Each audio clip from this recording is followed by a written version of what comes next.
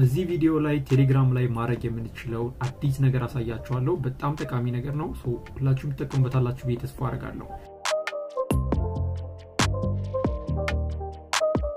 ሰላም እንዴት ናችሁ? የጌታ ቤተሰቦች ሁላችሁንም በያላችሁበት ሰላም ብያለሁ። በአዲስ ቪዲዮ ተመልሼ መጥቻለሁ። በዛሬው ቪዲዮ ላይ እንደነገርኳችሁ ቴሌግራም ላይ ማድረግ የምንችለው አዲስ ነገር እንመለከታለን። በጣም ቀላል የሆነ ነገር ግን ጠቃሚ የሆነ መረጃ ነው ይዤላችሁ የመጣሁት። እንደ ዛሬው አይነት መረጃዎችን ለማግኘት subscribe ማድረግ ትችላላችሁ።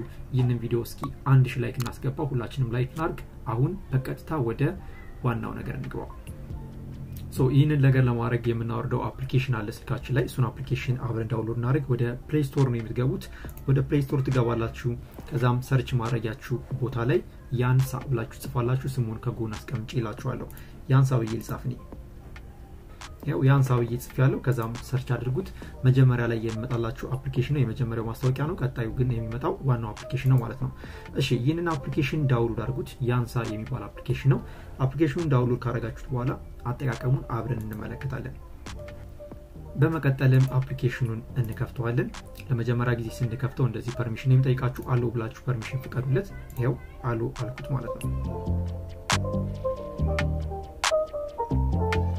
ጨርሰናል። አሁን ምንድነው ማድረግ ያለብን? ከዚህ application እንውጣና ወደ ቴሌግራማችን እንገባለን። እሺ እኔ ወደ ቴሌግራም ልግባ። ይኸው ወደ ቴሌግራም ገባው።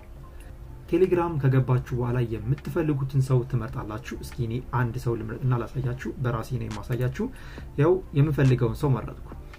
ከመረጥን በኋላ በቀጥታ profile ኡን ሂደን click እናደርጋለን። ከዛም እንደምታዩት user name አለው። እሱን user name ጫና አድርገን ስንይዘው ኮፒ የሚል ይመጣላችኋል። ኮፒ ታደርጉታላችሁ ማለት ነው። እሺ ኮፒ ካደረግኩት በኋላ ከዚህ እወጣለሁ።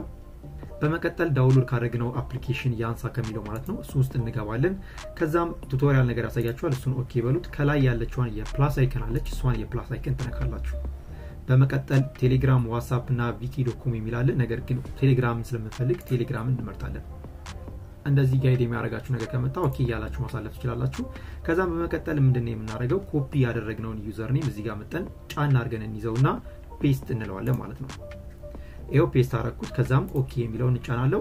user name ኡን ይፈልግልኛል።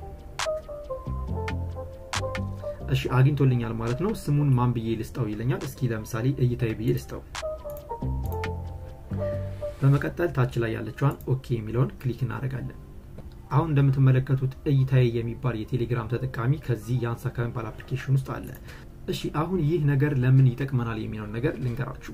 አንድ ጊዜ እዚህ ቦታ ላይ add ካደረግነው በኋላ ከዚህ application ማለት ነው ይህ ሰው የሚያደርገውን እንቅስቃሴ በሙሉ በቀላሉ መቆጣጠር ትችላላችሁ። ልክ ወደ ቴሌግራም ሲገባ ቴሌግራም ገብቷል ይላችኋል። ከቴሌግራም ሲወጣ ደግሞ ከቴሌግራም መውጣቱን ይነግራችኋል ማለት ነው።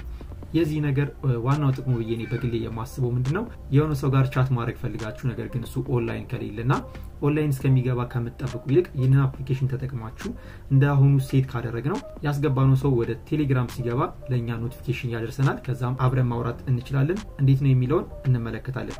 በነገራችን ላይ አንድ ሰው ብቻ አይደለም፣ እዚህ ጋር click እያደረጋችሁ add ማድረግ ትችላላችሁ። እሺ ጨርሰናል ማለት ነው። ከዚህ application እንወጣለን። ከዛም ያስገባነው user ሲገባ ምን ይፈጠራል የሚለው ላሳያችሁ። እንደምታዩት ከጎን ያለውን ስልክ ተመልከቱት። ልክ ወደ ቴሌግራም ገባው።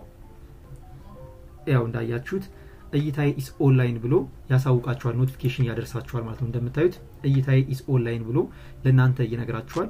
ልክ ደግሞ ከዚህ ሲወጣና ኦፍላይን ላይ ሲሆን ደግሞ offline ነው ብሎ ደግሞ መልሶ ይነግራችኋል ማለት ነው። ተመልከቱት። እንደምታዩት እይታዬ is offline ብሎ እንደገና ነገረኝ ማለት ነው። እንደዚህ ያደረጋችሁ እያንዳንዱን የሚያደርገውን እንቅስቃሴ በሙሉ በቀላሉ monitor ማድረግ ትችላላችሁ ማለት ነው። የዚህ application ሌላም ጥቅም አለው። በሌላ ቪዲዮ አሳያችኋለሁ። የዛሬ ቪዲዮ የሚመስል ነበረ። እንደወደዳችሁት ተስፋ አደርጋለሁ። በቀጣይ ቪዲዮ እስከምንገናኝ bye bye።